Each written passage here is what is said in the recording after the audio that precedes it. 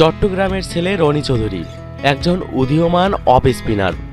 ইতিমধ্যে দু হাজার ষোলো সালে ন্যাশনাল ক্রিকেট লিগে চট্টগ্রাম বিভাগের হয়ে রাজশাহী বিভাগের সাথে প্রথম শ্রেণির ক্রিকেটে অভিষেক হয়েছে।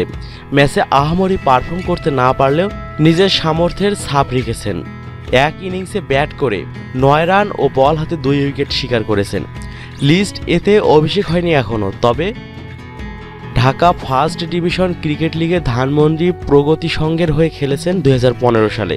বল হাতে নিজেকে প্রমাণ করেছেন দারুণভাবে। ক্রিক ইনফোর রেকর্ড মতে, ঢাকা ফার্স্ট ডিভিশন ক্রিকেট লিগের সর্বশেষ সাত ম্যাচে বল হাতে পাঁচ উইকেট বেস্টে এগারো উইকেট শিকার করেছেন। ঢাকা ফার্স্ট ডিভিশন খেলেছেন পাঁচ বছর ধরে। সেখানে ছত্রিশ ম্যাচ খেলে পাঁচ উইকেট বেস্টে। ছিয়াত্তরটি উইকেট শিকার করেছেন। ইকোনমিও তিন দশমিক পাঁচ শূন্য এর ভিতর, যা সেরা ক্রিকেটের অংশ।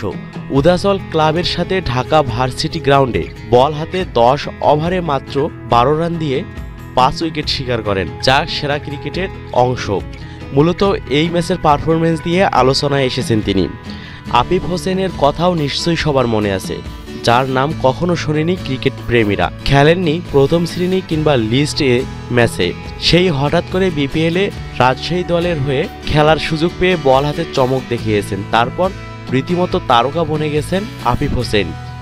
বর্তমানে জাতীয় লীগ, ঢাকা প্রিমিয়ার লিগ ও অনূর্ধ্ব উনিশ দলেও আলো ছড়াচ্ছেন নিয়মিত।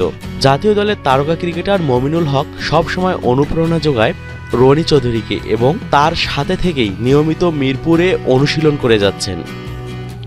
রনি চৌধুরীর এই অবস্থানে আসার পিছনে মমিনুল হক সৌরভের অবদানেই বেশি বলে তিনি জানান। আপিফ হোসেনেই হতে পারে রনি চৌধুরীর অন্যতম অনুপ্রেরণা। ভবিষ্যৎ নিয়ে রনি চৌধুরী তেমন না ভাবলেও নিজেকে প্রমাণ করতে চান ঢাকা প্রিমিয়ার লিগ, জাতীয় লিগ ও সুযোগ হলে বিপিএলে খেলে জাতীয় দলের রাস্তা প্রশস্ত করতে চান। বাংলাদেশ জাতীয় দলে স্পেশালিস্ট অফ স্পিনার খুবই কম। একমাত্র মেহেদি হাসান মিরাজেই স্পেশালিস্ট অফ স্পিনার। নিজেকে প্রমাণ করতে পারলে কে জানে, হয়তো রনি চৌধুরীও একদিন অফ স্পিন দিয়ে বিশ্বকাপ পাবেন